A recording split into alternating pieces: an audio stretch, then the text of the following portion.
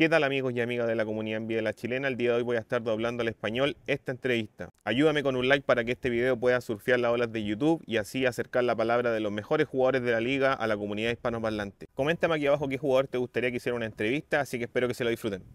Caitlyn se les escapó el partido desde el inicio y pudieron volver al partido en el último cuarto. ¿Por qué crees que empezaron de manera tan lenta y pudieron recuperarse solo al final?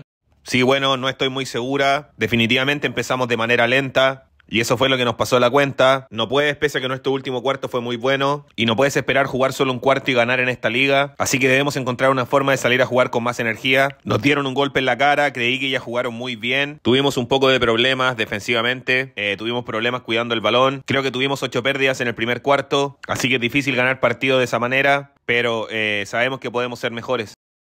Caitlin, tú siendo la base en este sistema, me preguntaba qué pensaste sobre el cambio de alineación con Lexi reemplazando a Analisa. Sí, hay que jugar con lo que la entrenadora decide poner en cancha. Bueno, yo tengo confianza en mis compañeras y no importando quién esté en cancha, tú tienes que competir lo más fuerte que puedas durante cada segundo. Y ellas hacen eso, creo que nosotras hacemos eso y creo que colectivamente pudimos haber funcionado de mejor manera eh, desde un punto de vista del planteamiento defensivo con respecto a lo que teníamos que ejecutar. Y eso es algo para todas, no importando si saliste de la banca o estabas en la alineación titular, ya que no ejecutamos defensivamente y en verdad tampoco lo hicimos en ofensiva hasta que llegó el último cuarto.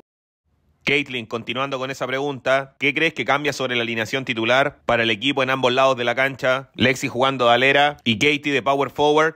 Si bueno, te da diferentes variantes pero incluso si las jugadoras en la banca también nos dan diferentes variantes. Así que bueno, no creo que tengamos que quedarnos pegados sobre quién es titular o quién no. Así es el básquetbol y eso es lo que sucede. Eh, puede cambiar partido tras partido. Yo no tomo esas decisiones obviamente, así que... Eh, tú sabes, soy la base, trato de poner a mis compañeras en posiciones para ser exitosas y lo que la entrenadora decida es perfecto y cada una en el equipo responde a eso.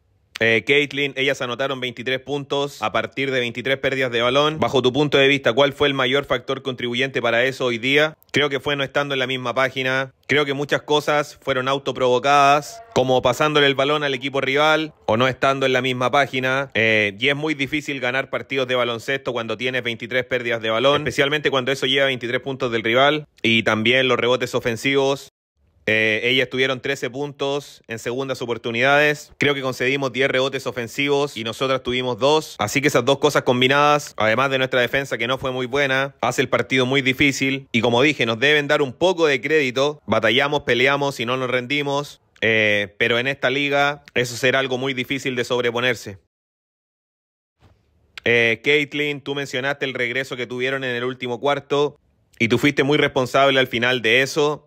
¿Hubo algo que se dio para ti al final del partido o fue más debido al sentido de urgencia? Creo que se trató de jugar fuerte. Yo no me iba a dar por vencida. No me importa estar abajo. ¿Por cuánto fue? Por más de 20 puntos. Y yo no quiero que me ganen por 40. Hay que hacer todo lo posible para mantener el partido cerca. 10 minutos de básquetbol es mucho tiempo. Acortamos la diferencia a 15 puntos con 8 minutos y medio por jugar. Tú sabes, eso es mucho tiempo. Tú sabes, para poder entrar en ritmo. Creo que cortamos la ventaja a 3 puntos y luego hubo un salto entre dos. Pudo haber agarrado el balón y hacer el cerco reboteador de mejor manera. El partido se decide por pequeñas cosas. Y como dije, cuando estás abajo por tanta diferencia, no puedes dejar que la situación llegue hasta ahí, porque se vuelve muy difícil ganar y todo tiene que salir a tu favor para poder dar vuelta al partido. Eh, pero para mí se trata de competir y jugar lo más fuerte que pueda, porque no me iba a rendir. Hola, Caitlin. Estamos viendo tu evolución y la evolución también de tu juego y te debemos ser más, ser una líder vocal para el equipo. Eh, te dimos reunir a las jugadoras cuando quedaban cinco minutos y les dijiste algo como consigamos frenarlas. ¿Cómo te sientes tú ahora mismo durante esta etapa de la temporada, convirtiéndote en la líder emergente del equipo? ¿Lo sientes de esa manera?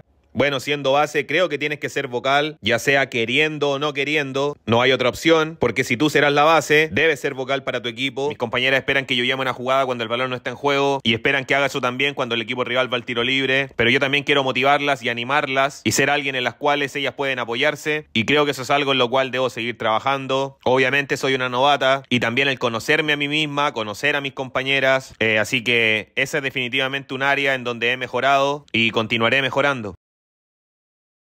Caitlin, ustedes habían ganado los dos partidos anteriores contra las Mystics. ¿Crees que ellas salieron a jugar este partido con otra intensidad?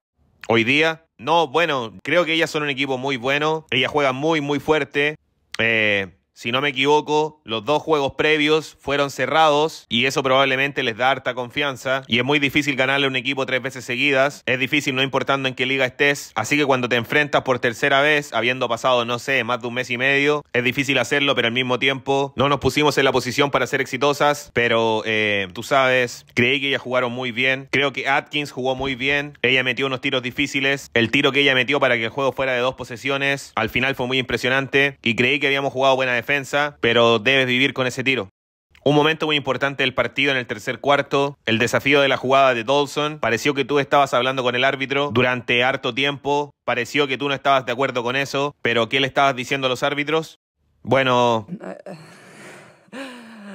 No sé, quizás ellos vieron algo diferente. Obviamente Liga Boston es difícil cuando ella está en problemas de faltas para nosotras y obviamente su apesta para ella al no poder entrar en ritmo y tenerla harto en cancha, bueno, ella jugó 20 minutos por los problemas con las faltas, pero creí que cuando ella estuvo en cancha fue muy efectiva, lanzando 3 de 4, pero creo que el rival se fue en una racha de 10 a 0 después que revirtieron el cobro, lo que hubiese sido un canasto y falta. Así que creo que eso muestra nuestra madurez, encontrando la manera de poder dar vuelta a la página. Sí, el cobro no fue a nuestro favor, pero ahora tenemos que frenar al rival, porque en ese momento la diferencia era de 10 o 12 puntos y no estábamos fuera del partido, pero luego dejamos que la ventaja se extendiera a más de 20 puntos. Así que creo que tú sabes, es lo que es. Lo que ellos vean en el video es lo que cobrarán. Eh, pero creo que pudimos haber respondido de mejor manera, pero creo que hubieron algunos momentos en el partido donde se sintió como las cosas no salieron a nuestro favor.